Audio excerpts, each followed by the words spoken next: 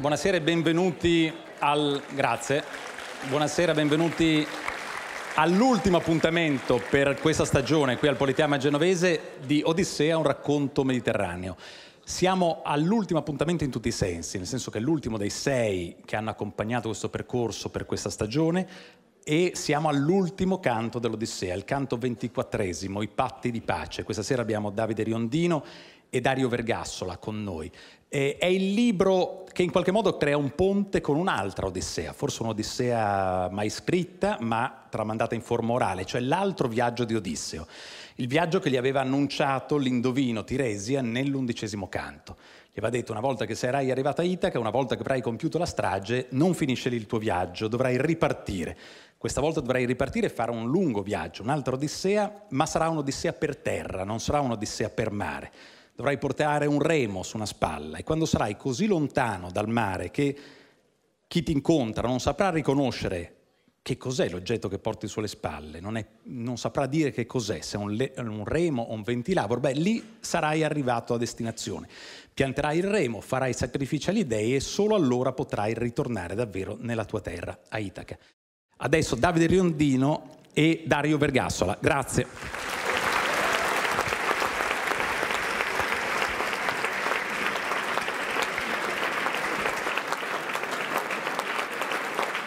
Salve a tutti, buonasera.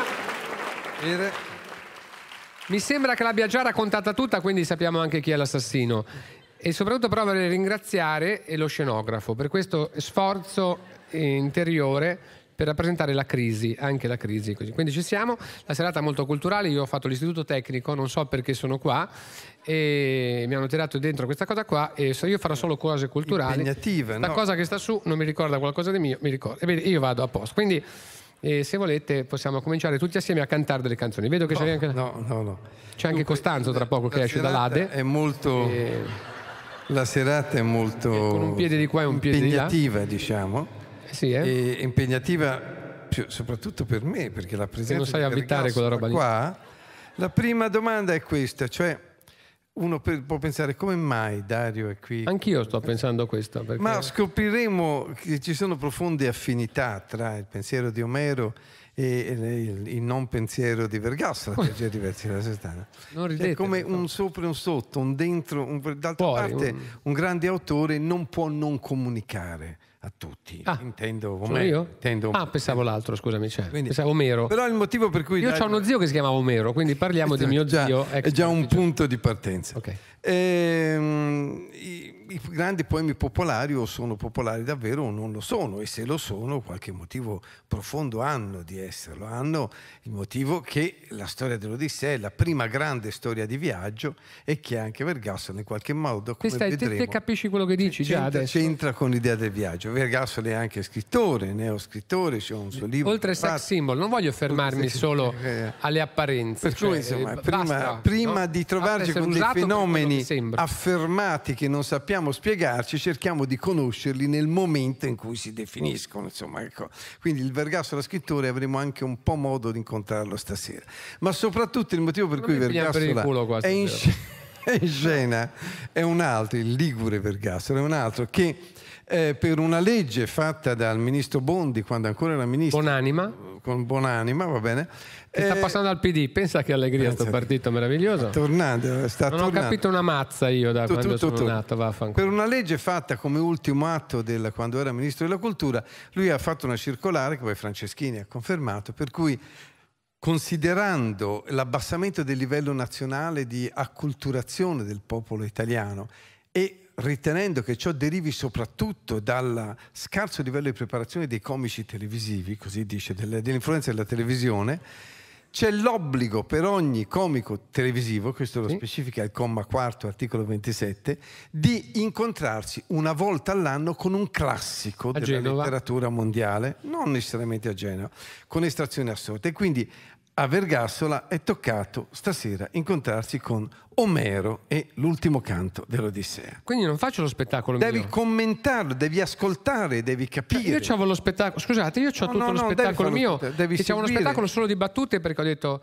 cioè mi piaceva più fare le cose tipo, non so, Capezzone colpito al volto da un pugno, dice, eh, dalle prime lastre alla faccia risulta una lesione all'osso sacro. Cioè io trovo più belle, molto cui- più belle di quelle che dice lui tutta la ma io non devo dire delle battute. No, Il motivo per cui Bondi ha fatto Ah, ma siamo assieme legge a fare lo spettacolo. È proprio questo, cioè pensavo che era la gara di cabaret. non della- solo, allora, in quando, quando è stata fatta questa circolare, Barbara Berlusconi ha sostituito il padre al Milan, entusiasmo negli spogliatoi. Tac, sono veloci, facile. e quindi Cioè, no. Per- Lui 84 anni, lei 82 anni spacciavano e consumavano cocaina. Un raro esempio di pensionati che riescono a tirare fino a fine mese. Sono facili. Cioè no, 8000. Adesso mi rispaccate la serata con queste cazzate qua di sti morti, sono già Il- morti tutti. Le ombre, le cose. il lì. senso delle- della circolare Bondi è proprio quello che è stato palesato in questo Ecco, momento. ma non era meglio se moriva lui, Bondi e tutti, e noi facevamo la cosa- Per cui una volta all'anno deve incontrare un classico, quindi tu devi ascoltare. capire di che si tratta e poi commentare, va bene? E dire quello che ti è arrivato. Se non commenti, alla fine non viene verbalizzato perché c'è in sala un commissario dello Stato che prende Ma cosa stai dicendo? e se tu non fai bene questa cosa, ti cancellano tutti i contratti televisivi che hai e anche te. Io avevo capito che avevi smesso di fare No. uso di sostanze, non so No, di cosa, no. ma? Quindi io poi ho l'ansia, mi- io mi spavento già. Sai che io sono ipocondriaco, così ipocondriaco che la prima volta che mi sono fatto una canna me la sono fatta in macchina, l'avevo già pronto soccorso, perché avevo l'ansia. Quindi vorrei... Quindi devo stare zitto e stare a sentire sta roba qua. esattamente. Forza fare esattamente questo. Io vi dico una cosa, perché secondo Mm. me era meglio il mio. E se vi rompete, telefonate che c'è una bomba come a scuola, andate fuori, telefoniamo e ce ne andiamo, andiamo fuori che fa caldo. Ci andiamo a fare i gavettoni lì in piazza di... Cosa stai facendo lì con... Sto prendendo il punto per cominciare leggendo non tutta la, l'ultimo Ah, non tutta? Perché non la, non la leggi tutta, strano. È già andata bene ragazzi, già non la legge tutta. Come vi ha, vi ha raccontato Maifredi, c- c'è stato, siamo alla- alla- Mi siedo perché non ce la faccio più. all'ultimo, all'ultimo atto della... della- Giuliano Ferrara lascia la RAI liberando così tre posti. Erano bellissimi. Cioè, non c'è... No, ce n'ho mille. Basta, non dico più niente.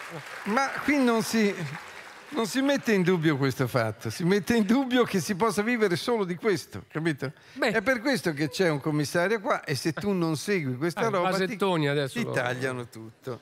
Siamo arrivati all'ultimo atto, c'è stato l'incontro, come diceva Maifredi, le, le anime dei prosci, cioè le- le- Dei? dei, dei, dei prosci se ne vanno al, Non chiamarli all'Ade- l'incontro sono come noi, anche se sono un po' così. Cioè, Incontro- non è che dobbiamo subito Eh, cominciare a fare queste cose. Incontro con Avranno fatto outing e saranno come gli altri. La descrizione della- dell'ultima battaglia, la qualcosa peraltro in questo bellissimo ultimo canto ci fa pensare e riflettere anche su come è stata poi composta l'Odissea, che è composta da mille racconti di mille aedi, narratori che come Demodoco nel- quando dai Feaci, no? tu hai presente? Sì, sì. Ulisse si manifesta. Feaci fanno anche delle analisi. non delle sa, Feaci. Non sa, non si sa che Ulisse ascolta raccontare da un poeta. eh, pensate che il poeta che mette in scena il poeta che racconta raccontare la storia della guerra di Troia, raccontare le proprie gesta raccontate da un aedo, allora piange e gli dicono che è successo e lui dice io sono quello di cui stanno raccontando e inizia a raccontare il suo ritorno dopo che è stata incendiata Troia. Però il, il, i- i- gli aedi andavano in giro raccontando a braccio anche, nessuno poteva avere a memoria la quantità diversa di cui è composta l'Odissea. E quindi da... da- da- da- per Gli aedi chi sono? per Non ho capito I poeti che andavano in giro a raccontare le storie dei guerrieri e delle guerre, in questo storie. caso dei ritorni dei guerrieri dopo la famosa guerra di Troia. C'è tutto un ciclo di ritorni, ma questo cosa immagino che le sappiate perché Eh. altri incontri ne hanno parlato ampiamente e eh, uno di questi ritorni è l'Odissea. L'ultimo canto, infatti, eh, come nella pratica di questi poeti eh, popolari, no? Eh, ripete le cose che sono successe prima e nella prima parte c'è tutto un riracconto della battaglia fatale nella quale tutti i proci sono stati uccisi con questa specie di arma segreta, quest'arco minaccioso che sapeva usare soltanto lui, che Ulisse ha tirato fuori, uscendo dal suo travestimento e facendo finalmente Come giustizia. supereroi. Dopodiché che cosa succede? Si torna dopo questa bellissima narrazione tra le ombre dei, dei proci nell'Ade, si torna alla luce del sole, sopra si sale come fosse un fi- film, avremmo questo movimento dal buio alla luce e siamo in una specie quasi di western tutto sommato. C'è Ulisse che con pochi compagni aspetta l'ultimo duello, che sarà con chi? Con i genitori, con i parenti, con gli amici dei principi. Di quelli che ha ammazzato ucciso. Ah. Che l'ha ucciso, perché ci sarà una reazione. Mentre la aspettano, all'incontro che vi ha raccontato Sergio col padre Laerte, poi ritorna alla, alla sua villa ranch eh, e si prepara a difendersi. Si prepara a difendersi, intanto nel campo opposto succede. Laerte è il figlio di Coso, quello che canta Ricominciamo. Laerte. Sì, è vero, no? È lui, parli di lui, no? Ha detto l'ultimo canto. Magari questo, questo. Intanto per la città dovunque correva messaggera la voce che dei proci annunciava la morte e il crudele destino. Ma parli con me adesso? Parlo con... so, mi... Sentiamo questo cosa Sentiamo dice. cosa c'è da dire. Che Compiamo già... l'Odissea e poi ragioniamo di quello che succede dopo. Udendola, tutti i parenti da ogni parte accorrevano in folla con grida e lamenti davanti alla casa di Odisseo. Portavano fuori i cadaveri, li seppelliva ciascuno e quelli di altre città li affidavano a marinai che su navi veloci li trasportassero a casa. Poi nella piazza si radunarono col cuore pieno di angoscia e quando furono tutti insieme riuniti si levò tra loro Eupite. Eh? Eupite. Una malattia alle orecchie. Eupite. Colpisce di... molti marinai Leupite. E eh? prese a parlare. Non ridere, cerca di... Nel cuore covava il dolore intollerabile per Antino. Ciao Lautite, ciao. Per Antino che il divino Odisseo uccise per primo. Per lui piangendo egli parlò e disse amici, è grave ciò che costui ha fatto agli Achei. Molti valorosi uomini portò via sulle navi e le navi perdette, perdette anche gli uomini, poi ritornò e uccise i più forti tra i cefalleni. I? Cefalleni, sono sempre loro. E dunque, prima che piombi su Pilo o nella divina Elide dove gli Epei governano, andiamo o ci copriremo di infamia per sempre, perché è una vergogna anche per chi in futuro verrà a saperlo, se non puniremo chi ha ucciso i figli i fratelli. Per me non sarebbe più cara la vita, vorrei piuttosto morire, unirmi ai morti al più presto. Andiamo dunque che non ci prevengano e varchino il mare. Così disse, piangendo, ne ebbero pena gli Achei. Ma dalla casa di Odisseo sopraggiunse Medonte eh. con il divino cantore. E si fermarono in mezzo, restarono tutti stupiti. Tra loro prese allora a parlare il saggio Medonte. Medonte che sembra un animale preistorico, il medonte. Gente di Itaca, si vede che oh. l'assemblea, no? Assemblea. Che si fa? Datemi ascolto, non è senza il volere dei numi che Odisseo compì queste azioni. Vidi io stesso un dio che stava al suo fianco e somigliava a Mentore in tutto, era il dio sotto forma di Mentore. Ed era un dio immortale che davanti a Odisseo ora appariva per dargli coraggio, ora atterriva i pretendenti, infuriando dentro la sala ed essi cadevano l'uno sull'altro. Disse così. E per il terrore impallidirono tutti, presi allora a parlare tra loro il vecchio Aliterse, figlio di Mastore. Ah, ecco. Solo vedeva passato e futuro. Ma sai che se lo fai a Scarabeo c'hai tanti di quei punti, cazzarola, il nome così e con saggezza egli, vedi cosa succede a scuola, no? Stiamo ricostruendo quello che succede nel dramma della scuola italiana. Come si chiama l'ultimo? Che eh, si chiama Aliterse. Ah, come si chiama? Aliterse. Tutti lo pigliamo per il culo. Eh. Aliterse, Aliterse. Con saggezza egli parlò e disse, anche a me date ascolto i tacesi, per la vostra viltà, amici tutto questo è accaduto. Non avete ascoltato me né mentore, signori dei popoli, per far cessare i vostri figli dalla loro follia, dalle azioni indegne che con nomi che avevano. con arroganza malvagia, divorando gli averi, oltraggiando la sposa di un valoroso, dicevano che non sarebbe tornato. Ora fate così come dico, datemi ascolto, non muoviamoci, non attiriamoci addosso sciagure Disse così ed essi balzarono in piedi gridando, erano più di metà, gli altri rimasero fermi, non piacquero loro questi consigli, a Eupite davano ascolto e corsero subito a indossare le armi e quando ebbero rivestito il bronzo accecante si radunarono in folla davanti alla grande città, le guidava Eupite che nella sua follia pensava di vendicare la morte del figlio e invece non sarebbe più ritornato e avrebbe compiuto lì il suo destino. E Zeus figlio di Crono guardava e Atena gli disse, si va in cielo, c'è un dibattito tra gli dei. Palla di Atena? Sì. Quella che era un po' quei globuli bianchi, un po' palla di Atena. Se- capisci questi piani, no? L'assemblea Sì. poi di te. Io Oh so, io- padre Zeus! Io ho solo paura che mentre noi parliamo si sono alzati tutti piano piano, sono già No, sono venuto apposta per sentire questo. Questa visione del... Oh padre Zeus, sommo e potente, rispondi alla mia domanda. La tua mente cosa nasconde? Farai proseguire la guerra crudele? La mischia tremenda? O tra di loro vuoi mettere pace? A lei rispose Zeus, signore dei Nembi. Perché, figlia mia, mi chiedi questo? Il piano l'hai concepito tu stessa. Che Odisseo si vendicasse di loro. Fa come vuoi, io ti dirò quello che è giusto. Poiché il divino Odisseo ha punito i pretendenti, stringano tutti dei patti leali e lui regni per sempre. Sulla morte dei figli e dei fratelli noi stenderemo l'oblio. Saranno amici tra loro come erano prima e regneranno pace e ricchezza.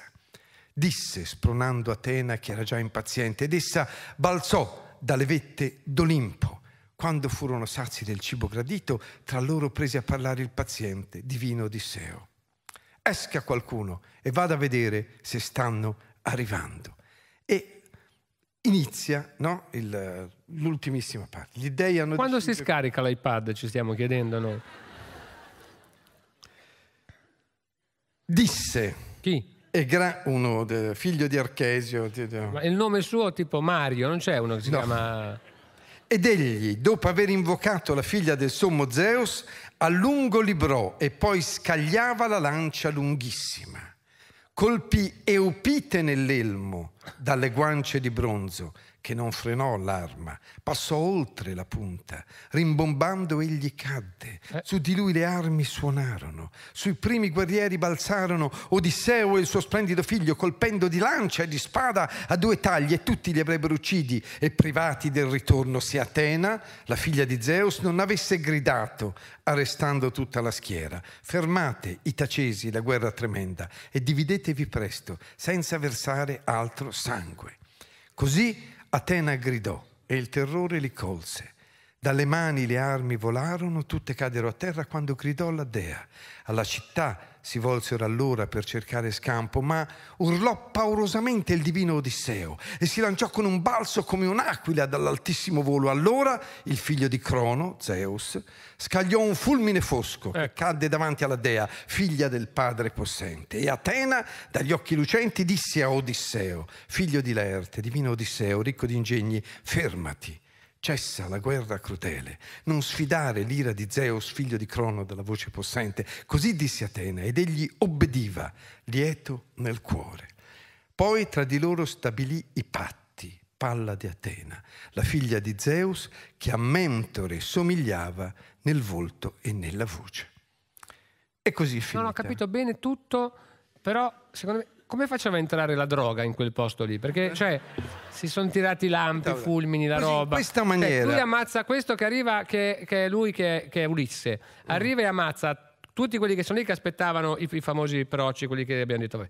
E poi arrivano i parenti che gli hanno ammazzato i figlioli. Certo. Dicono, aspetta. Allora uno arriva lì, fa il figo e dice adesso ci penso io. Gli tira una freccia, lo impianta subito secco. Una lancia. E gli altri dicono vabbè abbiamo scherzato. Questa è la fine. Cercano, dico, fuggono verso la città, Ulisse va per inseguirli e per uccidere tutti, ma Atena dice, Dice, basta, non sfidare anche di Re Zeus, già che hai sfidato l'ira di Poseidone, per cui ti ha costretto a viaggiare sul mare, altrimenti saresti tornato a casa. Mm. Però è molto allegra tutta sta Finisce storia, questa maniera, molto, non in minore, Molto allegra, come molto- una cosa che deve continuare, non è la fine di un romanzo, no? che in genere avrebbe, dovrebbe avere un segno epico, no, finisce dicendo, Ulisse fu fermato, gli disse fermati, adesso bisogna fare i patti, quindi fare un'alleanza. Questo disse lei travestita da mentore, che di mentore aveva la voce, punto, finisce in questa maniera. Quindi lascia un po' tutta l'Odissea dall'idea, soprattutto questo finale, di essere un passaggio verso qualcos'altro. Questo qualcos'altro cos'è? È quella seconda Odissea a cui alludeva Sergio, di cui vorrei parlarvi brevemente. Prima, ma prima di parlarvi brevemente, vorrei che questa Odissea È bello perché racconta sta roba e si addormenta da solo, vedi che non ce la fa. Eh, Questa seconda Odissea eh, che viene annunciata da, eh, nell'undicesimo canto, che vorrei leggervi come viene annunciata. E siccome viene annunciata da Tiresia, il quale dice tu farai questo e questo, ripartirai da Itaca, dovrai trovare un posto dove non conoscono l'uso del remo, dove non conoscono i cibi conditi col sale. Quando incontri qualcuno che ti dirà cos'è quella roba che ti porti in spalle, è un ventilabro, il ventilabro è quell'oggetto, una pala che serve a tirare in alto il gran turco, il mais, per cui il vento porta un labro, la- ventilabro, è bello, dai, sembra la Parietti, un ventilabro, 40 labbro. porta via la buccia no? e, rima- e rimane il grano, quindi eh, Come a Varese Ligure, insomma, quelli che non sanno dove è il mare. Esatto, via, talmente lontani dalla cultura del mare da scambiare la pala per questa cosa qua, fermati, sei al centro di un'altra Odissea, un'Odissea sulla terraferma. E allora lì farai un sacrificio al Dio che hai offeso, che è Poseidone, Nettuno. Eh, certo. L'hai offeso perché hai accecato suo figlio Polifemo. Eh, non si fa. Tutte le Eh, battaglie Specialmente se gli levi un occhio dei e soprattutto se ce n'ha uno, poverato, non è che puoi stare lì. eh. tutte le battaglie tra dei e uomini, il, il mito si svolge nel risolvere il conflitto col Dio. Quindi il problema non sono i proci per Ulisse, è il conflitto col Dio. Quindi giustamente dice incontrerai questo luogo misterioso e là farai un sacrificio e poi la morte ti verrà dal mare. Questo dice Tiresia. Perché lo dice? Non perché fa il prequel del seguito dell'Odissea che scriverà Baricco tra due anni, non è questo. A sua È- insaputa, tra No, è- ma perché già c'era, già c'era Prefazione di Farinetti. Già, già c'era, già c'era questa storia, no? c'era questa storia che era nei racconti dei cantori erranti, degli Edi, di quelli che andavano in giro a raccontare. Era già, esisteva e ne abbiamo delle brevi piccole tracce di cui vorrei dirvi qualcosa. Guarda, solo Però prima, brevi, prima vorrei dire un'altra cosa, che l'Odissea è stata presa sempre come punto di partenza per ogni racconto contemporaneo. Ogni racconto contemporaneo, avete presente Joyce e via dicendo. Scusa, prima che dici la cazzata finale, Eh. vorrei parlare anch'io del mare. Sì. Processo Costa Concordia. Schettino ha detto ai naufraghi: Ho dato il massimo per voi, sono pure sceso per primo in acqua per sentire se l'acqua era fredda. Questa mi piace, mi sembra che sia una cosa epica. Cioè, mi sembra. C'è anche l'applauso, mi sembra bello dopo che ha letto tutta quella roba lì. E l'applauso l'hanno fatto a me, capito? Benissimo, hanno fatto anche il Il- fischiato. il- benissimo. I mari, va bene? Eh, il viaggio per mare è diventato, quello di Ulisse, il prototipo dei grandi viaggi di formazione di tutta la letteratura, a seguire l'uomo che parte e va all'avventura. E lo scenario del mare è uno scenario che ha suggestionato moltissimo. Sentite queste parole quando parlano del- de- dei pesci, no? le acciughe in questo caso. Siamo arrivati in tutti i mari, a tutte le profondità, abbiamo visto tempeste e battaglie navali, parlano le acciughe. Polene sotto prue arabe e crociate inseguirsi sulle onde del Mediterraneo, passato notti insonni nei mari del nord, galleggiando immobili per contemplare la bellezza delle aurore boreali. Ci siamo immerse per farci cavalcare da terribili tsunami, contaminare da voi uomini in stupidi test nucleari, dopo essere state testimoni delle guerre tra dei e titani, arrivando ad essere le ancelle delle sirene, che non sono né un equivoco né una leggenda. Ci incontriamo con loro ogni anno in una cerimonia segreta sulle scogliere di Cornovaglia, per farci tramandare la storia degli argonauti in una grotta marina dove sulla parete è rappresentata una sirena che tiene in mano una mela cotogna e nell'altra un pettine, le sirene. Ci raccontano cantando la nascita di Afrodite, omaggiando in cori sacri la dea d'Erceto, mezza donna e mezzo pesce, madre di Efeso e Semiramide. E quando arriva Poseidone, dio del mare e dei terremoti, siamo le uniche creature marine che possono ballare, cantare intorno al suo tridente e fargli il solletico alla barba. Anche Tritone, suo figlio, e gli ippocampi adorano la nostra ballata. Quindi adesso smettetela di romperci la minchia, che peraltro non abbiamo, e soprattutto smettetela di spruzzarci addosso il limone prima di mangiarci, che ci va sempre a finire negli occhi. Ecco, questo è Non l'hai letta bene. Era- Non l'hai letta bene. la ballata delle acciughe. Non l'ha letta bene. E Eh. qui abbiamo questa rivelazione, cioè allora... Hai che raccontiamo il tuo libro e il libro di un altro che si chiama Omero. Io pensavo ci fosse un altro stasera che si raccontasse i libri, invece aveva rubato il libro e questa roba. Quindi, Però, hai capito? che tu hai queste. sentito questa presenza del mare, Omero? Certo, noi stiamo, siamo spezzini, siamo lì, andiamo alle Cinque Terre, cerchiamo, le sirene che in realtà pensiamo che siano le, quelle, le turiste che vengono d'estate che fanno vedere solo le tette perché poi hanno la coda sotto chiaramente Mm. e si cazzeggia lì in questi posti fantastici dove si, si va in giro e si fanno queste cose qua. Tipo si bruciano i libri, si dà fuoco alla sera, nei falò, si limona, eccetera, eccetera. Siccome io sono maschio ma non esercito, diciamo che sto a vedere queste scene. Eh, Però quindi l'epica ti è arrivata L'epica come arriva uomo specialmente- del Mediterraneo. Certo, Tu hai un siamo- romanzo epico in qualche modo. Non lo sapevo, ma se mi dici così, sì, in realtà è la storia di un viaggiatore, di un narratore, Un viaggio. che è uno di un bar che prende parte con un gruppo di amici che sono quelli nel bar, perché il bar, come era quello forse di Ulisse dove abitava lui, il bar, che lì era una taverna, chissà cos'era, il bar è il centro di igiene mentale omeopatico che racchiude tutti quelli che fanno nel bar, cioè la psichiatria imperante, e quelli più fuori dal mondo, che lì sono protetti dagli dei, invece da noi, quelli più un po' scimuniti, li protegge il barista che dandogli le pillole precise, la madre gliele lascia e loro mangiano queste acciughe che nei bar in Liguria danno le acciughe gratis, attenzione in Liguria, perché danno le acciughe gratis? Perché, mangi un'asciuga sotto sale e bevi una settimana di fila al bar, quindi questa è l'idea. Tant'è che in Veneto, fermi tutti in Veneto, io sono stato per entrare in Veneto, danno un'altra cosa che è terribile, basta, la manciata di sabbia forse è la cosa peggiore, ma in Veneto danno l'uovo sodo, che non c'è niente di più impastante dell'uovo sodo, e io ho visto l'altra sera a Padova in un posto che si chiama Baccaro, eh, non mi ricordo, era mezzo uovo sodo con l'acciuga sopra, cioè il top del... Cioè, quindi pensa come fanno i negozianti per far bere la gente. Eh, anche ai tempi di Omero magari poteva essere così. Però il fatto è che la tua mediterraneità ti ha forse inconsapevolmente spinto a scrivere una piccola odissea. Forse è Omero che mi ha copiato, tanto per cominciare, vorrei dirlo. È possibile. Però in realtà in questo bar dove ci sono tutti, anche quelli che sono, cioè tutti i personaggi da bar, quello che è stato rapito dagli UFO, cioè in tutti i bar, quello che gioca col flipper per non farlo andare in tilt con delle pulegge, ci sono tre omoni giganti come dei guerrieri che Però salvano c'è il viaggio di lui che E lui incontra perché muore un amico incontra per un delle- testamento deve andare a vedere cosa c'è in un luogo mitico, magico, che è una specie di percorso, un camminamento laico, però spirituale ma laico, che non è Santiago di Compostela, ma è Woodstock, cioè è uno che parte va non va a Troia, ma va a a Woodstock e va a Woodstock e trova tutte le cose Vedi, fantastiche. quindi c'è la morte dell'amico, c'è l'elemento del viaggio, c'è una serie di Mm. e figure. soprattutto c'è il flipper che non c'è nell'Odissea, il flipper non c'è. Ritornando, Mm. permetti, no? quindi è interessante, possiamo sviluppare. Parlando di libri devo dire questa, Mm. arrestato a Roma il capo del clan Moccia, appena in tempo stava per scrivere un altro libro, mi piace saperlo perché voglio dirlo. Che è un rivale nella tua professione Certo, ormai. cioè, ma poi c'era anche, c'era anche il racconto di Ruby Rubacuori. Sono stata violentata a nove anni da mio zio, indagato Mubarak. Questa mi piaceva sempre perché bisogna ricordarsi le cose, se no le perdiamo, cazzerola, le perdiamo. Desideri un dolce ritorno, illustre Odisseo, dice Tiresia dopo che eh, Ulisse è andato. Siamo nell'11. Solo un attimo perché così accostiamo anche la cosa Certo, religiosa. Cioè, Papa Francesco ha detto vorrei una chiesa povera.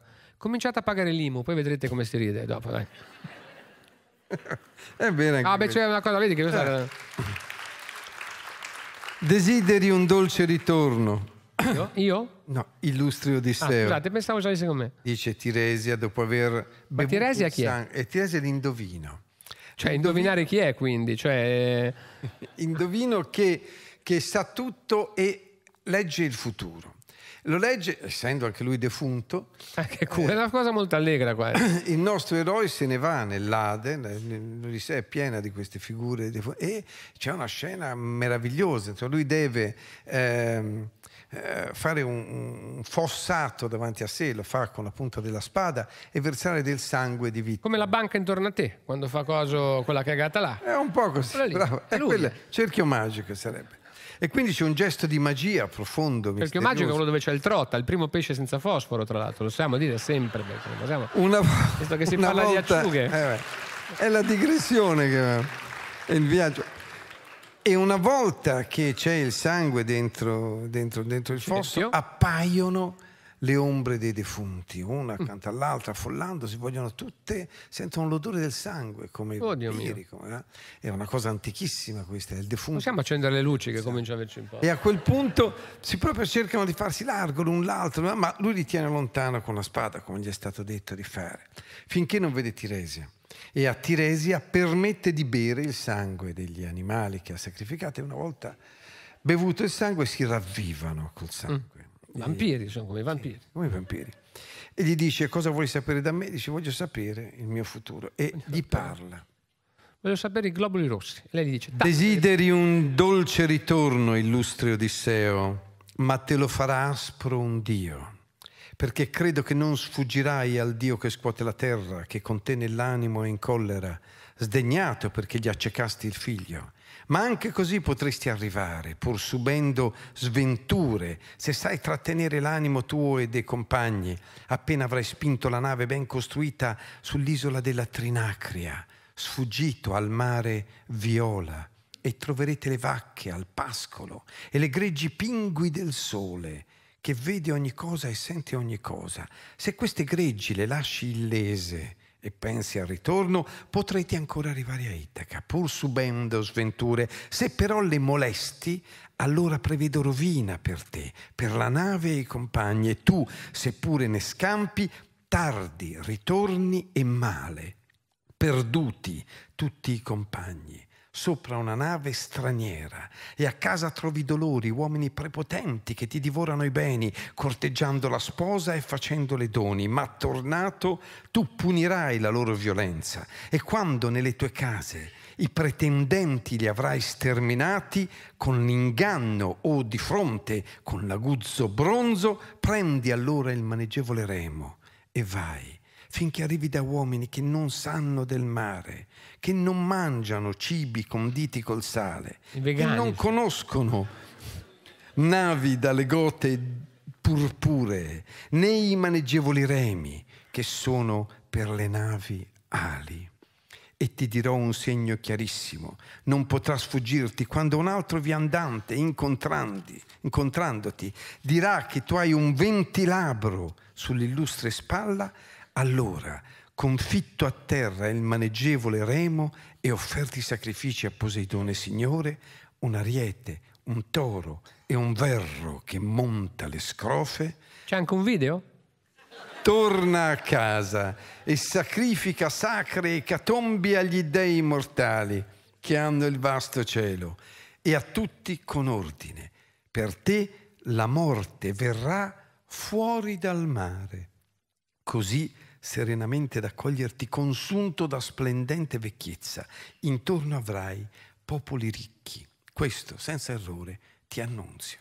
E quindi lui ah, dice che la morte gli verrà dopo questo rituale. È quella cosa che hai già raccontato prima o sono io che ho un ictus mi perdo un capillare? Cioè, l'hai già raccontata questa Però l'ho letta nella, ah, nella, come l'ha detta Omero. Ah, eh, fuori dal mare fuori dal mare, così serenamente raccoglierti consunto da splendente vecchiezza. Una volta che lui quindi sarà un re che governa quei popoli intorno, arriverà alla morte. Sta morte arriva, Abbiamo detto, il poema in questione però si è perso, altrimenti ce l'avremmo.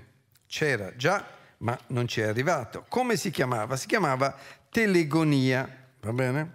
Perché era... Tipo Agon Channel, quella roba lì è telegonia. Cioè, tipo? Cioè, l'agonia della televisione, telegonia. No, no, no telegonia. Alcuni dicono telegonia mobile, ma non è questo. che come tu sai ci sono sì. arrivati soltanto due versi praticamente, citati da Cinettone. Uno è non si vede una mazza no, e l'altro non prende la da parabola. Da Cinettone di Sparta e da Eugammone di Cirene. Ah, volevo dire Eugammone, ma non mi veniva Cirene. Siamo nel 631 a.C. grosso modo. Ah, occhio. Che mese? Mm, siamo no, a marzo.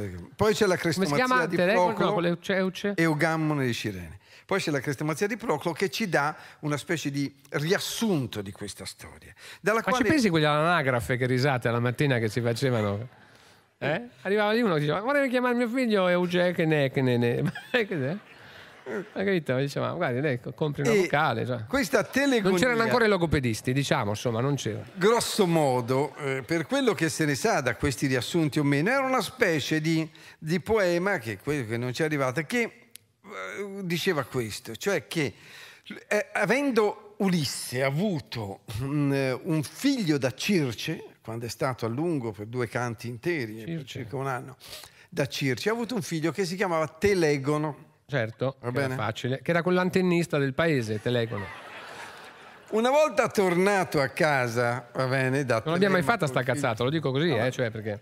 E poi dopo casa, se, ne, se, ne, va a fare i suoi giri con la seconda Odissea. I tetti, certo. Detto, eh, torna a casa e Telegono intanto è cresciuto. Eh. E vuole incontrare il padre e Circe gli dice che il padre è Ulisse e lui dice voglio partire a incontrarlo a Itaca. E allora la madre gli regala una lancia fatta, eh. fatta Perché prendeva Atene, meglio quella, cioè è proprio... una lancia la cui punta, era una, una, una, Una punta. una No. punta di razza. Una razza. Una spina della Che razza era? della razza. La razza. La razza, il pesce razza, che è un pesce velenoso. Ah, e la punta l'hanno fatta con quello. Sì. Erano divertenti sti ragazzi, facciamo questi scherzi. Dettaglio da non sottovalutare. Quindi parte con questa lancia avvelenata e naufraga. È un Ecco fatto di fatto. famiglia quello di naufragare. non c'è- Un certo È disorientamento. lo schettinamento perpetuo proprio. E dove naufraga? Naufraga il nostro telegono, naufraga, dice Davanti a di Capodistria, il telegono. metro di Sparta. Naufraga. Cosa hai detto? Non te lo dirò mai, così impari. È un nostro segreto, cazzo. no? Così Naufraga davanti proprio a Itaca. Eh, che è lì vicino. E quindi raggiunge senza sapere che è Itaca quest'isola. E così come era abitudine. Ma un navigatori che cazzo, erano questo. anche- Un tom-tom. che erano anche tutti un po' pirati che Eh. quando arrivavano nei posti rubavano quello che potevano, animali, compagnia bella, come ha fatto anche Ulisse in più di un'occasione. Si veda per l'appunto le vacche dedicate al sole della Trinacria, Le? che vengono nel- le- nella precedente eh, lettura, Sì. no? Hai, hai un- una testimonianza di che tipi fossero questi marinai vagabondi più o meno Mm. sospinti da tempeste. Infatti Teresia dice, voi arriverete in Sicilia, lì ci sono delle vacche sacre al spiaggia. Dio Sole. No? Se voi le mangiate non tornate più a casa. E loro la mangiate. E Ulisse tiene lontani tutti, poi si addormentano, eh, succede qualcosa e l'equipaggio si Se le mangia le vacche, A quel eh. punto il Dio si arrabbia. Quindi questi vuol dire che erano anche pirati. Quando arrivavano gli equipaggi delle navi, la gente scappava, tendevano a saccheggiare. Siamo a Genova, Davide, ti vorrei dirti, non è che siamo in Per cui- Valtellina qua. certo. eh, che- Per cui dai, sapete, allora il figlio Telegono, naufragato a Itaca, che non sa essere l'isola del padre che cerca, ruba degli animali Mangia una vacca. e il re Ulisse, che non sa che quello che sta rubando gli animali è il figlio Telegono, E il figlio non sa che lui è il padre, a volte succede anche migliori famiglie. affrontare il ladro, il quale ladro, va bene, ha un'arma molto potente che è questa lancia, colpisce Ulisse con la lancia e Ulisse stramazza a terra. Ammazza il figlio, il babbo che non Figlio sapeva ammazza che era il il babbo, un figlio. po' tipo Edipo. Ecco, per cui eh, eh, è avvelenato Ulisse e mentre muore rivela chi è. E allora c'è una grande rivelazione perché Telegono scopre che ha ucciso il padre e allora scende giù Padre. Telemaco con la, moglie, la madre che è eh, Penelope, Penelope. no? e si riuniscono intorno al moribondo Ulisse che eh, defunge quindi in famiglia abbastanza Diciamo, sì. serenamente. Lo portano da Circe a seppellire, fanno quindi una bella altra viaggio. Ma loro ricreazione non la fanno mai. No. ma Sempre, sempre. Guarda, è bella come storia. Vanno da Circe, Sì. dove C'è- Circe seppellisce insieme a loro il, Ulisse. Ulisse, l'amante, marito e compagnia bella, e i due clan Sì. si sposano. Ah. Cioè Telemaco. Come il patto del Nazareno. Ah, eh sì. Telemaco in questo poema, Telegonia, sposa Circe e Telegono sposa Penelope e intanto Circe li ha fatti anche diventare immortali con una specie di balsamo che gli ha dato. Ma impressionante. Però, come vedremo tra un attimo, Pastorini si fidanza con Grillo e la Paita va questo con a- è Imperi solo con Scaiola. una, Questa è la una cosa. cioè, delle- dei finali Allora- di queste storie che erano a incastro, che erano sì, così, funziona così. come dei canti che si intrecciavano l'un l'altro, che erano contemporanei. Si dice quindi, come questo è comprensibile, che questi due clan, no? i clan di Ulisse, di Circe, di... E viene fuori il clan clan, insomma, questo è il problema del... si, si attelegono con eh, Penelope e Telemaco con Circe. La versione successiva che, di cui vorrei Ma una darvi famiglia normale che stava, cioè non c'era di come naviga poi questo mito? male. in seguito? Perché? abbastanza male. Legal Perché eh, nel 300 circa a.C. siamo in epoca alessandrina, no? Eh, grosso modo, Dario, tu mi insegni, siamo dalle parti del, di Alessandria, queste cose qua. Sì, vicino C'è- a Vercelli, Alessandra, così. cioè. Qua. sopra, diciamo, no? Licofrone, licofrone. Licofrone è questo animale mitologico che se ti, se ti prende ti mangia, Eh, licofrone. mangia, Un boccone. Licofrone. Licofrone, ti mangi il boccone. Che scrive la Alessandra. Che sa anche scrivere, il primo animale. che- Ma c'è un altro libro lì. Eh, Ma anche te, ma, per... Alessandra ma te per Musa non ci sei mai andato. di, di, Cioè, non- di Licofrone, va C'hai bene. più libri davanti che manco cacciari. Cazzo. Alessandra Licofrone scrive la storia di Alessandra. E Alessandra chi è? È chiaro, è Cassandra, no? La- una delle figlie di Priamo, la quale aveva il dono della profezia, però eh, dono tremendo perché siccome aveva avuto uno screzio con Apollo, Apollo Ma la- Screzio è il fratello?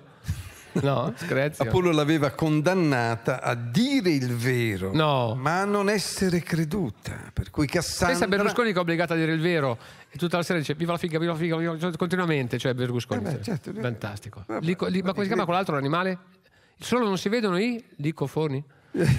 come si chiama? Licofrone racconta in questo poema intitolato Alessandra, che è Cassandra, fa dire a Cassandra i ritorni degli eroi. E ecco in questa fonte, quindi 300 anni dopo, che troviamo un'altra descrizione di altri poemi perduti in cui si racconta, oltre al finale di queste coppie che si riformano, Telemaco, Circe, Telegono, Penelope, il clan che si riforma, anche un ulteriore drammatico finale, nel quale Telemaco, che ha sposato Circe, se la fa poi però con la figlia di Circe, quindi la sorellastra, che non era figlia di Ulisse, e la sorellastra, non potendone più di questo invadente signore che gli sposa la mamma, lo sgozza.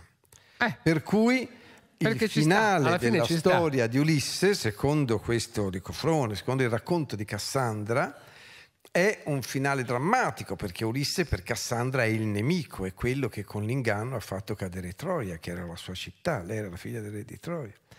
Per cui in questa storia viene punito del suo empio crimine di aver tradito la fiducia dei troiani, Ulisse, con l'inganno del cavallo, e mentre muore saprà che il proprio figlio è stato ucciso, sgozzato dalla sorellastra. Quindi questa è quello che ha ucciso il padre con la lancia, con la palla. No, con è quell'altro, è, è- è l'altro figlio, il figlio di... No, ho sbagliato pagina. che le- se leggono intanto... Quindi, questa Cioè, ma qui- dopo questo tuo test, che è un test sull'Alzheimer, cosa ci vuoi dire? No, Cioè, voglio dirti che questo qui è il modo in cui il, il- il racconto di Ulisse viaggia Mm. in contemporanea, perché mentre era composto il poema de- de- de- dell'Odissea c'era anche il poema del, del secondo viaggio di Ulisse, sono cose contemporanee, altrimenti Teresia non potrebbe dire quello che sa essere successo dopo la battaglia dei Proci a Ulisse.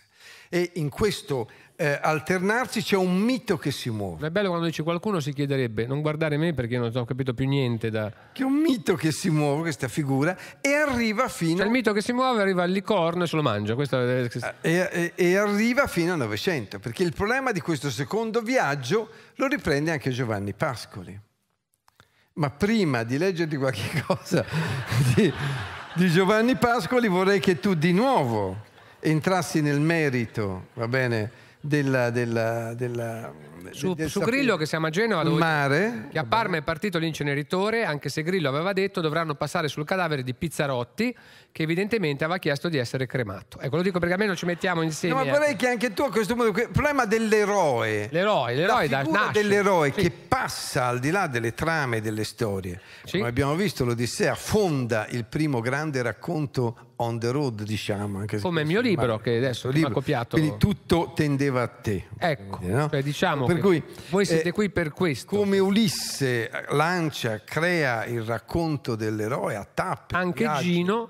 E che si eh, aumentano queste avventure a secondo dello scrittore che riprende il mito, che racconta, che continua.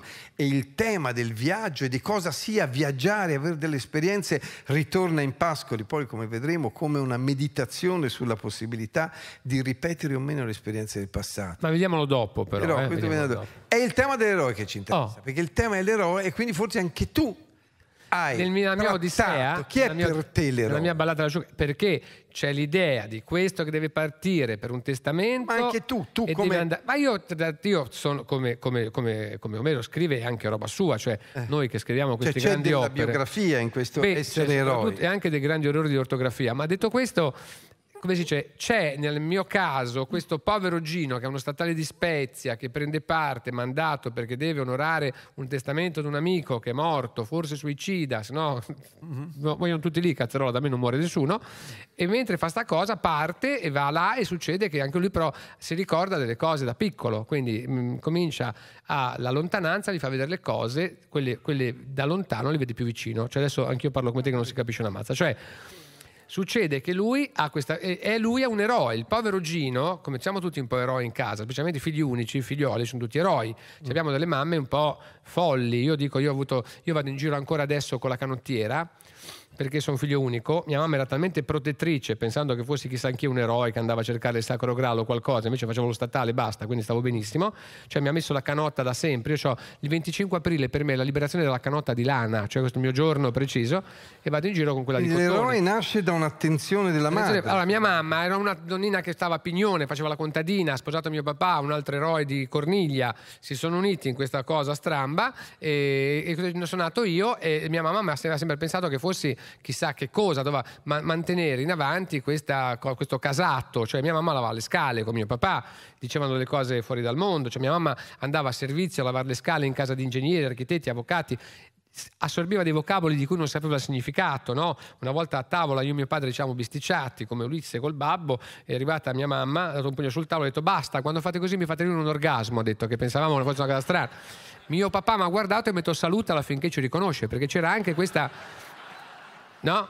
Però la parte è così. Allora io ve lo dico perché, lo dico per le presenti. Cioè io casa mia era una casa molto povera, povera, povera, povera, povera. C'era una cucina piccolina dove eravamo di passaggio, un bagno piccolo, piccolo, molto freddo, una sala dove dormivo io, l'eroe dormiva in questa sala, però per mia mamma era una cosa meravigliosa. Io dormivo in questi letti a ribalta, questi letti che ogni tanto quando ti alzi di notte, siete mai stati, avete provato l'ebbrezza al letto a ribalta, ti alzavi di notte ogni tanto a fare la pipì, tornavi, non c'era più letto e stavi dicendo che cazzo le quale sarà il Dio che mi ha nascosto il Dio. Cioè, e, stavi, e ti, non capivi dove cazzo devi dormire, quello, perché accendevi la luce e si svegliava. L'origine del mito è così esattamente. È così. E allora mia mamma cosa faceva? È lì che mia mamma curava l'eroe prima della partenza. Cioè mia mamma curava l'eroe così. Questo figlio unico, 12 anni, partiva e in questa casa era molto fredda, il terrore, quindi il nemico era il freddo. Mia mamma che soffriva d'asma e non voleva che mi ammalassi come lei, succede che mia mamma hanno messo nella sala due stufe, due. Una a kerosene che si chiamava Argo, e di qua il mito, cioè e di qua... Argo che brucia sempre. Brucia bello. sempre e tra l'altro la stufa scodinzolava, non ho mai capito perché, però c'era la stufa. E... Stiamo dicendo cose a cazzo, però mi diverto. Dall'altra parte una cucina economica a legna e mio padre la caricava andando sui boschi come se fosse l'Amazzonia, di, tutto, tagliava tutto e caricava sta stufa. Allora andavano a letto poverini loro due, lasciando l'infante di Spagna, che ero io, questo personaggio così, quello che doveva andare a cercare il Santo Graal piuttosto che chissà cosa, perché avevano paura che mi raffreddassi. Io stavo lì a letto, mettevano sul letto, perché per farmi ancora più caldo, avevano paura che... Allora mi mettevano anche tipo 4-5 coperte, quelle della Marina Militare, quelle blu, quelle blu spesse così che rimangono rigide come un sepolcro di marmo, pesava 30 kg, non fanno caldo, però quattro sopra non ti potevi più muovere, rimanevi un po' fermo così, dentro queste piattaforme azzurre con, la, con, l'ancora, questa roba qua, e iniziava la stufa a fare il suo lavoro, iniziava questo miracolo della fisica e cominciava a diventare questa stanza da meno 2 gradi, cominciava a essere 5, dopo un po' diventava 7, 15, 22, dicevi cazzo le Canarie, 28, perfetto. 31 cominciava a sudarti un po' i coglioni, cioè di un po' così. 65-70 avevi le visioni, come lì, come gli sciamani, no? Vedevi, facevi vedere le guerre, erano, erano sacrifici agli dei. Non mi caga neanche, sarà stronzo. Tre ore che sta a sentire le cagate sue, e lì manco mi caga a me. Vabbè, sento, ti... no, vaffanculo, bene, te, te, te, te, e se non fonte là come cazzo si chiama, vedi? Quindi succedeva che in questa nottata diventava la stanza una specie di, come si chiamava, come, come, come fosse una, una, una serra per, per, semenze, per orchidee, sembrava una cosa come, come c'hanno in, in Norvegia, quei cazzerò dove scaldano tutto, che muore, le saune così molto povere. E a un certo punto io riuscivo, perdevo tutti, tutti i liquidi, evaporavo, sui 100-115 lì era perfetto, non capivo più niente, uscivo da queste coperte stratificate perché ormai era una sottiletta, mi attaccavo al muro come un gecko, attaccato così, così con, le, con le con le ciglia tutte cispose, a 120 così, 120 gradi arrivava mia mamma, apriva la porta mia mamma la mattina, che non aprivano la porta per paura che qualche grado finisse da me, ci mancherebbe altro. Infatti è morta lei d'asma come una tragedia. E a un certo punto mia mamma entrava e la vedevo con gli occhi cisposi, entrava questa specie strano personaggio, una specie di dio titano a questo punto, perché aveva dei guanti da saldo brasatore con delle pinze a mano e teneva delle cose in mano e le metteva come il vello di qualcosa, cioè metteva sulla stufa le calze di lana, le mutande di lana, la canota di lana, le calze di lana, le mutande di lana, la conoscenza tutto lana. Aveva, aveva, pot- aveva potato un gregge durante la notte, una famiglia sarda rubata, non so cosa, aveva tessuto questa roba come Penelope, faceva questa Beh, molto epico, Mi, molto certo, mi antico. vestiva così con queste canote oh, incandescenti perché le levava al volo dalla stufa, tracchete, me le metteva addosso, se no mi raffreddavo, capisci? No, e no, no, aspetti, aspetti, che devo, ricordare. E mentre faceva sto passaggio io mi ustionavo, mi ustionavo molto, ero molto ustionato, tutto, bruciavo tutto, ho inventato la ceretta io da solo, questa roba qua, mi riempiva, era una specie di piccolo, piccolo una specie di cose laviche, era una specie di magma chiuso, così, e con sto caldo da morire uscivo fuori dalla porta, mio padre mi aspettava già e non c'avevano i soldi, non c'avevano mai, c'aveva la Vespa, c'aveva la Vespa 150 Gran Turismo rossa, che è descritta molto bene anche nel libro, il mio destriero era quello, salivo su questa cazzarola di Vespa con un giubbotto da navigazione, quelli chiusi fino a così, fumavo, fumavo già, fumavo così, mio padre metteva anche i giornali qua dentro ma prendevano fuoco, non riuscivano, la lotta tra- cosa terrificante, e partivo verso la scuola, partivo verso la scuola e dopo 15 metri tra... Fuori c'era meno 20 nel canalone dove stavo io. E io dentro ero più 130 ci vuole un matematico, 130 meno 20 sono 150 gradi di escursione termica, sarebbe morto Armaduc, Zana Bianca, eh, coso, gli alpinisti sarebbero morti dopo 30 secondi, io cominciavo a starnutire, mocico sul parabrisa di mio papà che girava, girava, tornava indietro perché non c'era niente da dire, cioè, mi stava ammalando immediatamente, sulla porta c'era mia mamma, la madre dell'eroe, pronta, come tutte le madri a aspettarmi, c'aveva una termocoperta elettrica che l'aveva inventata lei, quelle cose lì, e un bulacco da 60 kg di Vix Vaporub e mi, mi cosava come le cose, cose funebri, mi metteva lì. E poi diceva questa cosa qua, diceva, povero Nini, mi diceva, ma come farà a ammalarsi così tanto? E vaffanculo, cioè, eh, perché? Quindi applauso alle madri, quindi un po', l'eroe, l'eroe è questo. Questo è un vero eroe. Che è nel libro però, cioè è il libro. Sempre nelle famiglie. Per darvi contezza del fatto che io non sto dicendo sciocchezze, ma che l'icofrone esiste davvero, Eh certo, l'abbiamo anche visto prima, Cazzarolico. tanto 30 versi vi dico, ma quello che 30 gli viene versi? detto, no? Dicono, Senti. eh, Lei è figlia unica, lo so. infine, cioè, no, senza un lamento accoglierà i colpi quando si traveste da mendicante. Il corruttore, Ulisse è un corruttore per lei, ne sarà lieto, accetterà di buona voglia i lividi per tessere un inganno ai suoi nemici e raggirare il re da vera spia con le piaghe e i lamenti. Infine, come gabbiano in corsa sopra le onde, come conchiglia erosa in ogni parte dall'acqua salsa, trovato il patrimonio consumato nei banchetti dei proci, dalla Spartana, la moglie Penelope che è Spartana, colta da una follia di distruzione, quindi gli dà di zozzona a lei, Ah, rugoso, rugoso come un corvo, andrà a morire con le armi addosso nei pressi delle selve del Nerito, lontano dagli approdi. Lo ucciderà una spina di pesce sardo. Quello di prima, quello... Questo che ci dice la tipa. Una punta mortale senza scampo con un colpo alla schiena e sarà noto che a macellare il padre sarà il figlio. Ma scusa, la ripeti un'altra volta quello di prima? Ma te lo confermo, ti confermo, te, te lo dico Ah. Una cosa. spave- l'ho mi detto- sembra di averlo già sentito, No, con parole Mi mie. Allora, questo, è, questo è quello che scrive Licofrone. Il? Licofrone scrive questo che ti sto dicendo. Quindi tu davanti all'antico verbo devi provare un brivido come davanti a un, a un- vaso antico. E quando spirerà piangendo il fato del figlio e della moglie, Ulisse, ne accoglierà le spoglie il monte Perge dei Tirreni, quindi in Italia è sepolto. La sposa sarà uccisa dallo sposo, che dopo lei percorrerà la strada verso l'Ade, con la gola squarciata, massacrato da sua sorella. Oh, una famiglia... Vedendo un tale cumulo di mali, discenderà per la seconda volta nell'Ade da cui non si torna, senza mai aver scorto nella sua vita un giorno di bonaccia, quindi una grande maledizione, sventurato. Quanto era meglio rimanere in patria a governare i buoi, a collocare l'asino lascivo e laborioso sotto il giogo, piuttosto che affrontare l'esperienza di simili Bella, malanni. però. cioè lui che dice se sapevo che finiva così me ne stavo a casa Eh, sì, dice, a coltivare dice- cioè, lei le- le dice, fave col formaggio. era molto meglio che lui non, non fosse mai partito. Questo era molto meglio che tutto non fosse già avvenuto.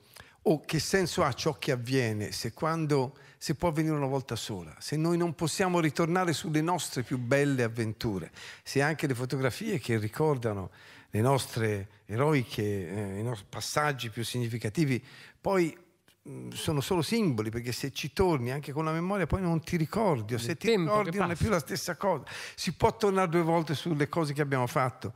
Questa è la domanda di Pascoli, che, segue, che poi siamo ormai insomma, nell'Ottocento inoltrato, primi Novecento, così, lavora su Ulisse e scrive questo, eh, il ritorno, come il viaggio, l'ultimo viaggio, che è un poemetto in decasillabi sciolti, nel quale si immagina Ulisse vecchio ormai, vecchio, ehm, con la barba lunga, i capelli lunghi, e tutti i suoi marinai a Itaca, anch'essi invecchiati, Tutti vecchi. dei vecchi hippie in qualche modo.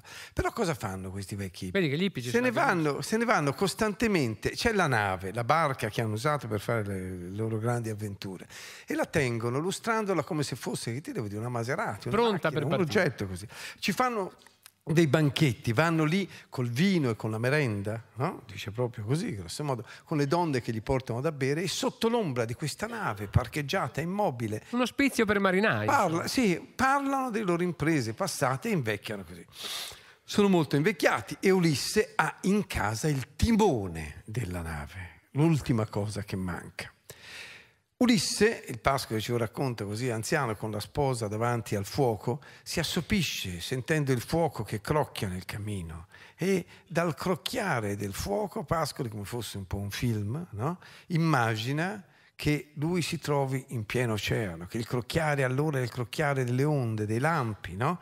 e le faville che vede Del fuoco. del fuoco gli sembrano i lampi e le stelle. Così. Quindi Cioè, un vecchio rincoglionito. un paio dai, di diciamo volte si sveglia no? e gli sembra di, di essere di nuovo nel mare, inseguito dalle onde di Nettuno, fuggire con la vela a cui rimane attaccata. Magari attaccata a una tenda, la moglie si incazza. Alzata. Lascia stare quella cazzo di tenda, Una volta, due volte, folletto, è un, è un po' così, un po' così. Due volte, finché a un certo punto capisce che questo vuol dire qualcosa. Non solo, ma gli sembra che le rondini che arrivano a primavera siano grida di marinai. Quando si accorge che sono rondine, capisce che, che- che è il segno, è il segno, deve partire. Deve partire, ha fatto quello che doveva fare, ha già fatto tutte le cose del remo in questione, il poemetto inizia con Prende, lui che va fa sul remo, catetere, sta a dire, no? sgancia tutto. È tornato a casa e, e zitto zitto scende dal letto mentre la donna sposa. Dice vado a comprare le sigarette. Non si fa vedere nessuno dal letto fatto sull'albero d'ulivo che aveva scelto lui di piallare per costruirci un letto sopra l'albero e prende il timone. Fa una strada non usuale per arrivare alla spiaggia, incontra anche una contadinella a cui dice no sto vedendo un attimo, ho sentito dire un rumore di là, no? Fa finta di niente, non dice che va Cioè lui sta vigilando con un spiaggia. timone in mezzo agli olivi Sì, sì. e fa finta di niente. diciamo. Esattamente, esattamente. Finché arriva davanti alla nave dove ci sono tutti i suoi soldati, va bene? Come numero uno Alan Ford. Dice, signori, siamo pronti a partire. E tutti, eh, Leggerò il racconto, cioè il perché voglia ripartire. E questi qui ripartono. Ripartono e dove vanno? Questo è Ulisse l'Inps anche che lo vuole, questo, anche eh. un musicista che viene con lui e, Ah, un, proprio e- e un altro proprio. che sale sulla nave. Dice, io ti porto a vedere le avventure che ho fatto e ogni volta che arriva in un posto dove dovrebbe essere successo qualcosa, Circe, il, eh, beh, il ciclope, no? Eh, quanta- non trova niente. Ma dai. Trova degli echi, dei suoni, addirittura quando incontra il ciclope trova questa caverna, dice guardate, ora vi faccio vedere, guarda, guarda, ora c'è questa è la grotta. Ma davvero, questo è Pascoli. E c'è una signora, la moglie del ciclope, piuttosto grossa, Come quelli delle Cinque Terre, un po' eh, così. che gli dice, lui Do- dice, dove "Eh, dicono uomini che sembrano bestie e donne qualcuno- che sembrano uomini. Sì, l'altro. passò qualcuno tempo fa che c'era. ciclope. Eh? Ah, dice non lo so, dice la signora. Forse mio marito lo sa che è in giro con le pecore. Torna l'energumeno, Col trattore. e lui gli dice: Ma eh, sa di qualcosa di un ciclope? Eh? Dice, ma dice: No, veramente no. C'è un vulcano qua che può somigliare a un occhio, no? Arrossato, ma perché? Perché è un vulcano. Ma questo che, fosse un ciclope, magari lo dicevo tempo fa quando non sapevano che c'erano i vulcani. Quindi, Quindi racconta balle, povero. Racconta cioè, quindi tutto quello che lui ha visto era un sogno forse. Nell'isola di Circe c'è, non c'è niente, ci sono dei suoni che richiamano de- de- de- delle voci, Come ma non c'è niente. È un po' come il tuo libro. Che lui arriva lì, fa tutto sto viaggio, alla fine c'è un campo di pannocchie. È bravo, è E quella non c'è una mazza. Con delle mucche che siccome hanno sono sul campo di Woodstock e in quel campo di Woodstock un milione di persone ha fatto di tutto, Sì, si è fumata, si è fatto tutto, c'è rimasto sul terreno delle cose strane e crescono pannocchie abbastanza strane, tant'è che le, le mucche sembra che cantino di notte nella stalla e i vitelli ridono parecchio, dicono questi qua che... Quindi c'è questa roba qua.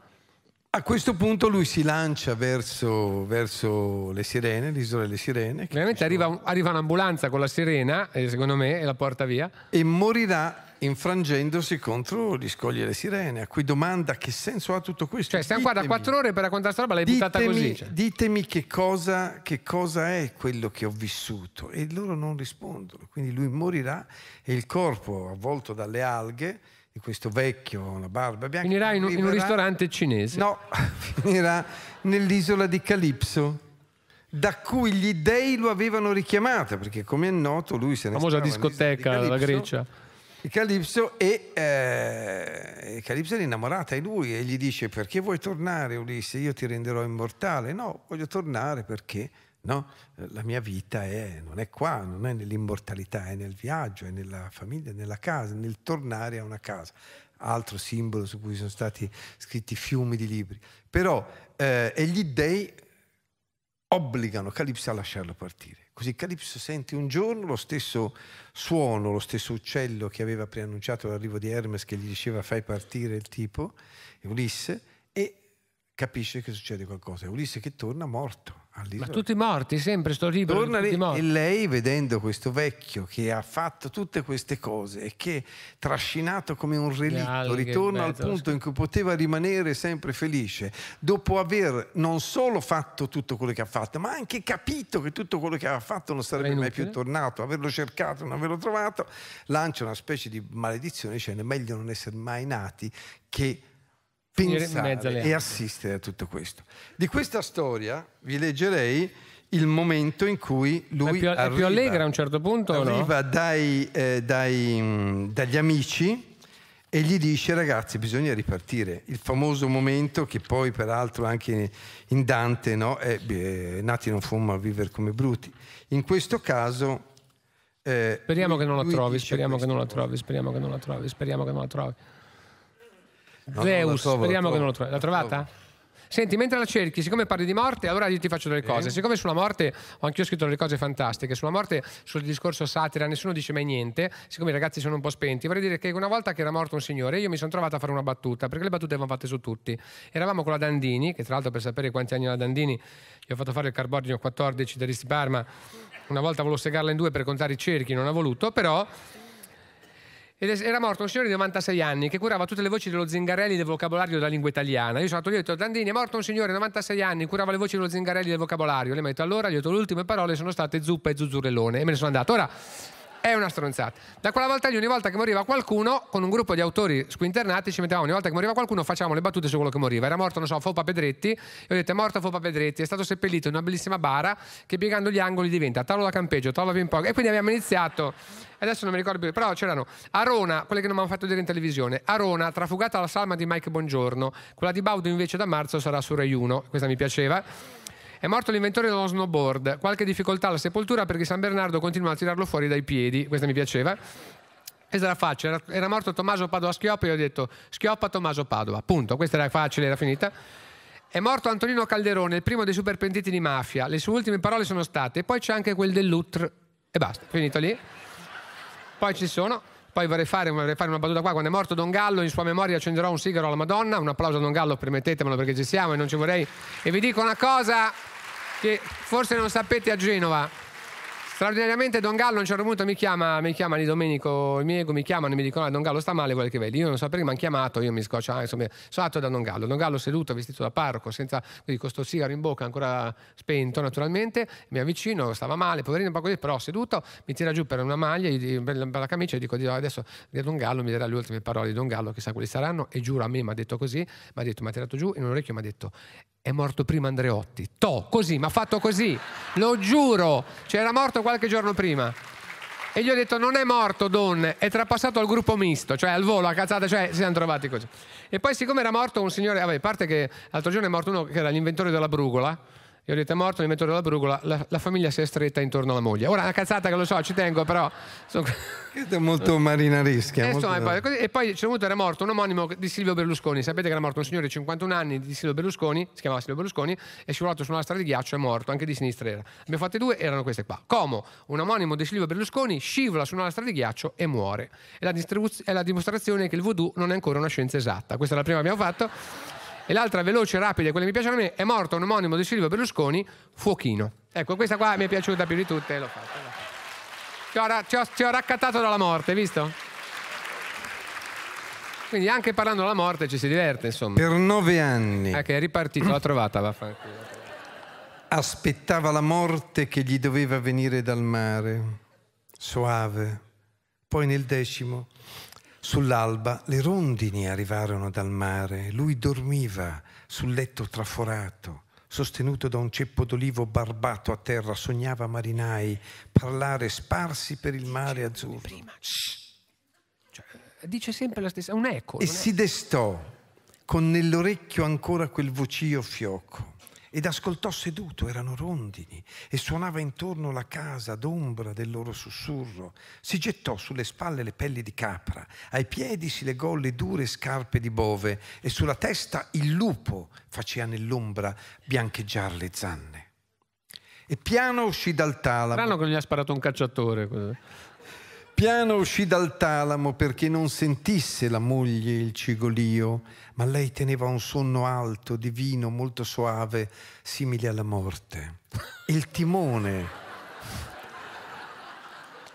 staccò dal focolare, affumicato, e prese una bipinne, chionascia. La, la carioca, rossa e blu.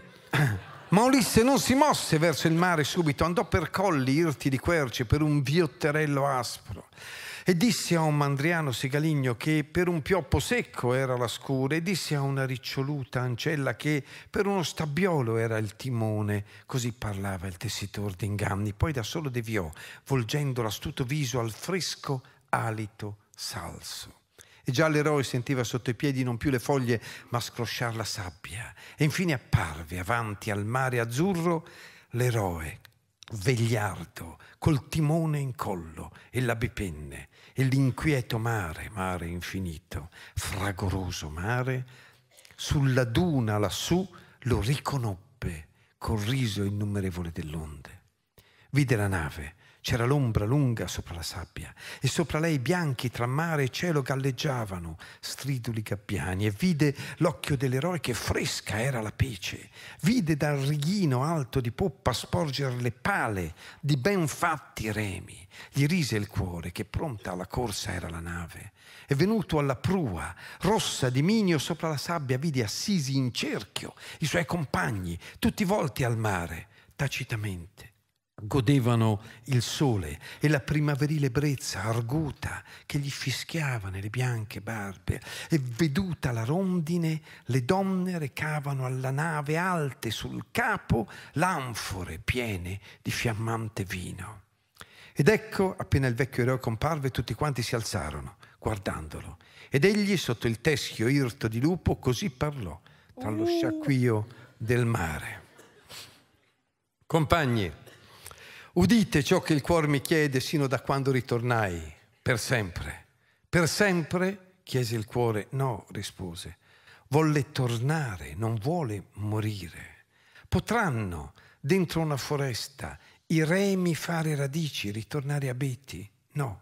Né può la nera nave al fischio del vento dar la tonda ombra del pino, così non vuole il rosichio del tarlo ma l'ondata, il vento, l'uragano, anch'io la nube voglio e non il fumo, il vento, non il sibilo del fuso, non l'ozioso fuoco che sonnecchia, ma il cielo e il mare che risplende e canta. Compagni, io sono come il nostro mare, che è bianco all'orlo, ma cilestro in fondo. Io non so che lasciai negli antri a mare ombreggiati dall'oro, non so che lasciai nei prati molli di viola o dove erano cani d'oro a guardia immortalmente della grande casa dove...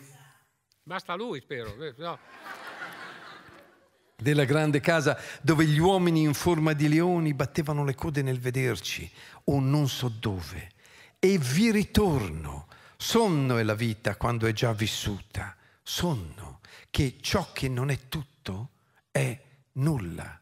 Ora io mi voglio rituffare nel sonno. Se trovi in fondo dell'oblio quel sogno.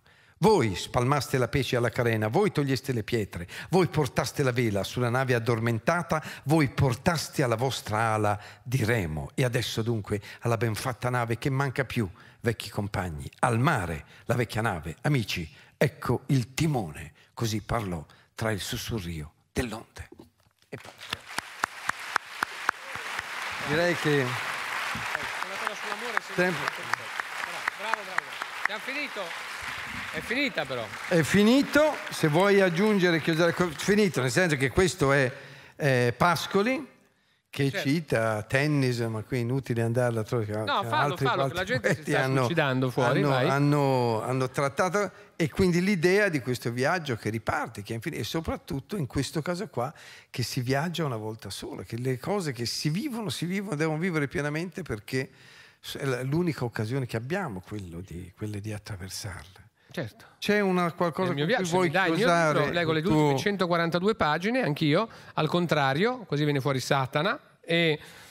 No, però voglio dire una cosa, perché c'è qualcosa sui viaggi che qualcuno dimentica, che uno viaggia e incontra delle cose, incontrando c'è anche la possibilità di incontrare degli amori, però se te sei già uno che a casa, tutto sommato, non hai mai tradito e sei un po' ipocondriaco con l'ansia, quelle cose lì, c'è il rischio che non sai cosa fare. Il nostro buon Gino Sonofonte, eh, Gino e basta, va in America, scende di lì, e arriva finalmente con l'aereo, scende da questo aereo e prende un, lui vuole un chopper, ma in realtà gli danno la Vespa rossa come quella di suo babbo, va, gli danno un sacco di botte subito gli Hells Angel appena li vede, perché lui dice cazzo che figata, ma sbaglia a tradurre una cosa, si avvicinano due, gli danno un sacco di botte, bruciano la Vespa e inizia una tensione anche con lui. Parte con il naso rotto, rovinato, si incammina verso questa strada, appena arrivato e fa l'autostop. Non si ferma nessuno tranne una macchina dove dentro c'è una bella mora. C'è il primo personaggio femminile del mio racconto, eh, così tipo Omero, e mentre lui si entra la ragazza, lui dice in macchina sorry, I go into, le dice the car, my car, dopo 20 minuti capiscono che sono italiani tutti e due e smettono di dire cazzate e sì, lei lo porta a casa. Lei è una che insomma non ti lo sto a menare più di tanto, lei e c'è un momento di corteggiamento. Mm. Perché il povero Gino è sì statale, sì operaio, però è uno di quelli che tutto sommato, come Don, Chiscio, Don Chisciotte dice, nel, eh, ognuno ha diritto di amare e essere amato, insomma, è questo cervantesca come cosa. Quindi lui ha una cosa meravigliosa. Questa ragazza a un certo punto, questa bella, si mette sul divano, questa bellona un po' mora, lo guarda e lo guarda mentre beve del vino rosso molto costoso e dice quest'uomo mi guarda con uno sguardo strano. Lui è appena arrivato da Spezia, gli hanno rotto il naso naso, gli hanno bruciato la vespa, gli hanno dato un sacco di botte, è completamente fuori. Dice: Mi guarda con uno sguardo strano, forse vorrà cercare dei miei tormenti amorosi e darmi delle risposte. Lui in realtà la guarda completamente sfatto, dice: Questa qua c'ha una quarta intera, cazzerola. Se c'è il bottone che se respira ancora di più mi picchiano un occhio, quindi si sposta per capire, perché l'amore è, grande, è un grande meccanismo come un grande orologio, una grande ruota dentata dove noi siamo dentro, ci muoviamo, ma siamo fuori sincro di uno e non ci incontriamo mai, però ci si vede. A un certo punto cosa succede? Che il povero Gino, lei dice a un certo punto, mi guarda in un modo strano e gli chiede una cosa. Gli dice lei, cosa ne pensi, strano uomo dal naso rotto, cosa ne pensi dell'amore? E lui che sì, statale, operaio, cazzaro, ognuno ha la sua dimensione, però ognuno ha la sua dignità, lui è anche uno che essendo ignorante però trova sotto il letto, vede una ragnatela, incontra Zobeide, che è una delle città di Calvino, ma lasciamo perdere. A un certo punto succede questa cosa strana. Lei dice a lui mentre beve cosa ne pensi dell'amore? Lui un po' si vergogna, chiude gli occhi davanti a lei, tira un sospirone e dice l'amore dal, dal suo punto di vista. E dice così. L'innamoramento è quella cosa che ti prende indipendentemente dal sesso, dall'età o dalla classe sociale. È una roba chimica che parte dal cervello e ti rincoglionisce. Quando gli ormoni si fondono con le endorfine prodotte dalla ghiandola pituitaria e dall'ipotalamo, scoppia l'atomica dei sensi. Suoni e odori si amplificano e quando passa la ragazza biondina più bella del quartiere, il glicine sembra fiorirti nelle narici. I papaveri vincono l'ostilità degli anticritogammici diventando più numerosi del grano e riconosci l'odore che viene dalla terra dopo che cadono le prime gocce di una pioggia estiva. Nei canali, nei canali fioriscono le calle, i girini si trasformano, i fiori d'angelo si arrampicano sui muri, iniziano le giornate di maggio, mentre i ramari dal verde lucente fuggono sul morite secco inseguiti dalle bisce. вещи. Lui tira sto pippone mentre le aspetta che magari gli metta me addosso, sempre con gli occhi chiusi, e dice: Senza provare fatica, continua a pedalare in mezzo alle piante di arance di selvatiche di Corso Cavour che al tuo canto miracolosamente si innestano e diventano domestiche. Il profumo dei fiori del limone e degli orti ti sorprende, ti commuove la torta di mele di tua madre, le giornate si allungano e ti passa la voglia di studiare. In ogni libro che leggi trovi un'attitudine tra te e la biondina più bella del quartiere, le poesie sembrano scritte per te e per lei, come se tutto il mondo delle arti avesse scritto, dipinto e costruito per secoli solo per voi. Da prima del Rinascimento l'universo sapeva che l'avresti incontrata, le cattedrali, i castelli, le opere d'arte erano solo indizi che indicavano il percorso per trovarla. Quando la vedi passare il cuore ti scoppia, lo stomaco si stringe e qua bisognerebbe dirlo a Doria, quando due ragazzi si innamorano per strada e si incontrano, dagli alberi scendono delle liane che avvolgono degli amplificatori della Bose e My Song di Katie Jarrett si diffonde in tutta la città. Quando lei ti sorride i fucili da caccia fanno cilecca, la fame nel mondo è debellata e la manna scende dal cielo. L'arcobaleno diventa routine. Gino apre gli occhi sentendo russare e vede Matilde ubriaca che dormiva. Punto. E, e finisce lì. Perché non ci si trova. Però una bella descrizione amorosa. Perché l'eroe ama, capito? L'eroe ama. È finita, ragazzi. Ha preso la chiesa. Io speravo di tormentarlo ancora un po'. Se telefonate che c'è una bomba, è il momento giusto. Che. Ci fai questa, poi basta? Sì. Perché a me mi, mi chiude il garage alle 10 e mezza. Eh, lo dico, eh. Anche perché la domanda che si fa adesso, mentre lui fa questo, lo dico che noi siamo liguri, un po' ci capiamo. Quando uno è sul palco, io ho fatto prego tutta la vita, quindi uno è sul palco, vedete cosa pensa uno, è quello che mi chiedevo io. E quando uno è sul palco così, specialmente in Liguria, che è questa terra meravigliosa, questa cosa qua, dice, c'è uno che sul palco pensa, mentre fa queste cose fantastiche, Omero di Saulia, ci sarà una cazzo di pizzeria aperta quando usciamo? Questo è quello che ci chiediamo. Perché a Spezia l'unica cosa aperta di notte, l'unica luce accesa di notte è il bancomat. I E quindi 2.26, un'ora e un quarto, è giusto. E Ulisse viene... eh, A Sanremo? No, e poi continua prima di Pasqua naturalmente con Dante, no? Ah, Il canto dell'inferno. E Dante veniva raccontato, declamato su musica, intonato, tant'è che c'era un fabbro, si narra, che cantava il, il dei Fabbro Sinatra Si narra che che cantava. cantava le cose di, di Dante, Ah. storpiando le parole. Dante passò di, lì, lì? e gli cominciò a buttare per terra in I ferri? i pezzi. Così via. Dice, ma lei cosa fa? Perché fai Io rovino. tu rovini la mia E io rovino la tua. tu, così impari. No? Quindi, tanto per rimanere in tema, Dove lavorava mia mamma quel fabbro lì, tra l'altro, dove prendeva le pinze, quelle famose. chi era, chi era, insomma, il la cantabilità, i racconti sono fatti per essere detti a alta voce.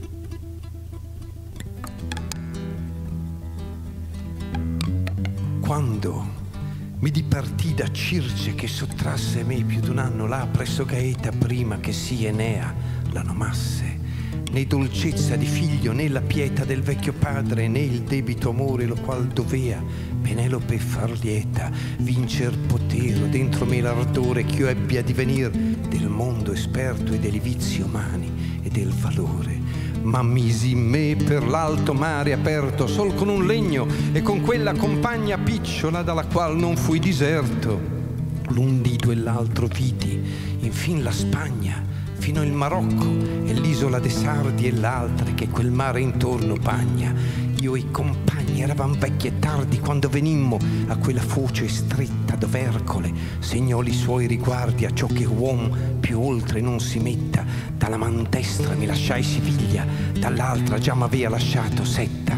O frati dissi che per cento miglia perigli siete giunti all'Occidente a questa tanto picciola vigilia dei vostri sensi chiede il rimanente. Non vogliate mancar l'esperienza di retro al sol del mondo senza gente. Considerate la vostra semenza fatti non fosti a viver come bruti ma per seguir virtude conoscenza. I miei compagni feci io sì acuti con questa orazione picciola al cammino che appena poscia li avrei ritenuti e messa nostra poppa nel mattino de remi facemmo ali al folle volo sempre acquistando dal lato mancino tutte le stelle già dell'altro polo vedea la notte e il nostro tanto basso che non sorgea fuor dal marin suolo. Cinque volte era acceso e tante cassolo lume era di sotto della luna poiché entrati eravam nell'alto passo quando n'apparve una montagna bruna per la distanza e parvemi alta tanto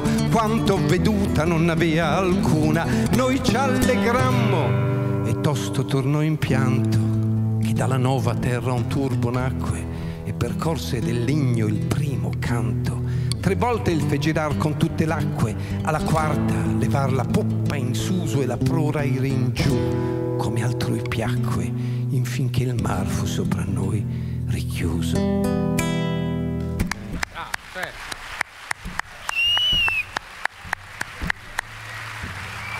Le terzine di Mogol. No. Bene, salutiamo, ringraziamo, abbiamo finito. Dario Vergassola ha raccontato l'Odissea insieme a noi.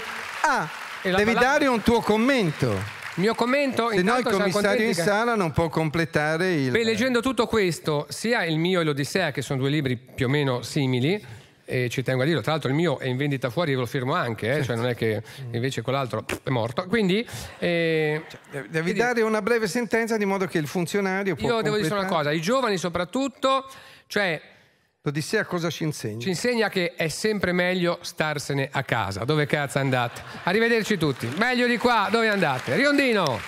Dario Vergassola, grazie, Grazie a a Maifredi, a tutti. quanti, all'amico che mi ha prestato la chitarra, il- E l'ottimo. a te che gliel'hai scordata.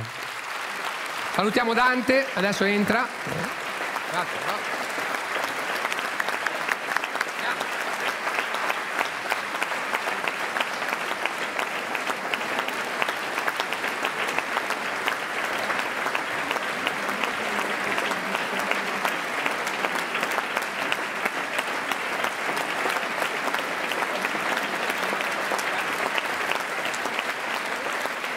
Bene, visto che non ve ne siete andati, facciamo i fratelli Karamazov. No, scherzo, no, troppo. no. Bacio a tutti, buone cose, grazie per la luce, buona serata Riondino, grazie ancora per me e per tutti, grazie, arrivederci. Arrivederci, buona serata, grazie.